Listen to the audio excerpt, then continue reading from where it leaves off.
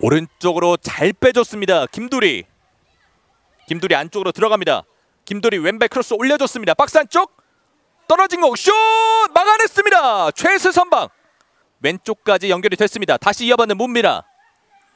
문미라 안쪽으로 들어갑니다. 수비에게 막혔지만 전은아가 치고 올라갑니다. 크로스 올려줬습니다.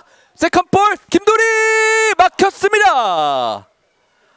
아 여기서 가슴으로 막아냈던 창녕 WFC입니다. 김빛나의 좋은 수비 연결이 됐습니다. 이어받는 전은아 문미라 다시 뒤로 빼줬습니다. 전은아 공간 있어요. 전은아 왼발 막아냈습니다.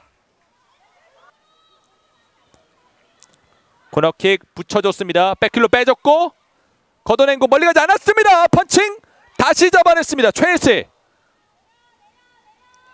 아 최일세 골키퍼가 집중력을 발휘해서 막아냈습니다. 과연 이 변화가 어떤 결과를 가지고 올지 길게 붙여줬습니다. 헤더 펀칭. 오늘 최일슬은 난공불락입니다. 뚫어낼 수가 없습니다. 이번 시즌 코너킥에서 득점을 만든 경기도 있었고요. 중앙으로 연결해줬습니다. 전은아 밟아줬고 문미라 막아냈습니다. 강력한 슈팅. 이번에도 최슬의 선방. 주호주가 돌아섰습니다. 주호주 슈팅. 다시 주호주. 오! 막아냈습니다. 길게 빼줬습니다.